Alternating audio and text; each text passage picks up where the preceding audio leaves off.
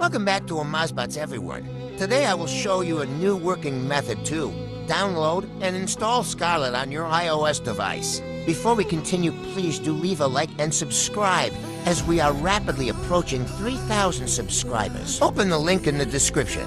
Scroll to IPA S, then scroll down and hit on the Scarlet icon. Hit download. Now in order to install the app, you will need any signing app, such as Esign, Feather as well as a paid normal certificate for them. I will have tutorials for both in the description.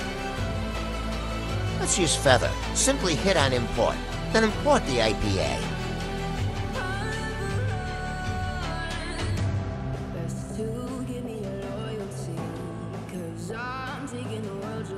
Now sign and install the app.